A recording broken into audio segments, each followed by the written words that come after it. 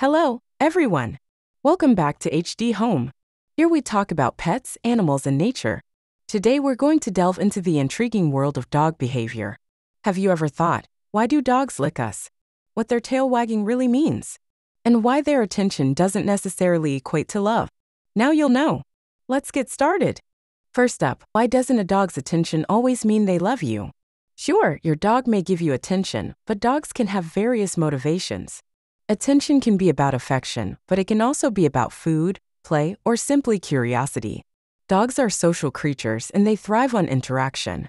They may seek attention for many reasons, and it's not always about love. Remember, while your dog's attention is a sign of your bond, love is a complex emotion that goes beyond just seeking attention. It's built over time through trust, care, and positive experiences. Now let's tackle the topic of tail wagging. Why do dogs wave their tails and what does it mean? Is it always about happiness? Spoiler, and no. But at first, here is the top the most beautiful dogs in the world. Is your dog in this top? Link in the box.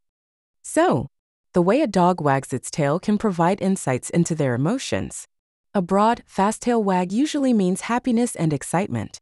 But a stiff, upright tail wag can be a sign of aggression or warning. So it's important to pay attention to the context and the dog's body language.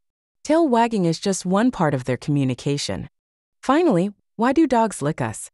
It's a behavior we've all seen, but what's the reasoning behind it? It's definitely not a kiss. Well, there are several reasons. Let's take a closer look. Dogs lick as a way to communicate. It's a form of bonding and affection, similar to how they groom one another. It's their way of saying, I like you. However, licking can also be a sign of other things.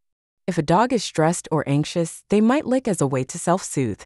So it's important to consider the context and the dog's overall body language when interpreting the behavior. So there you have it. Thank you for tuning in today. If you found this video informative, don't forget to hit the like button, subscribe to our channel, and share it with your fellow dog lovers. And as always, if you have any questions or topics you'd like us to cover in the future, let us know in the comments below. Until next time, happy dog parenting.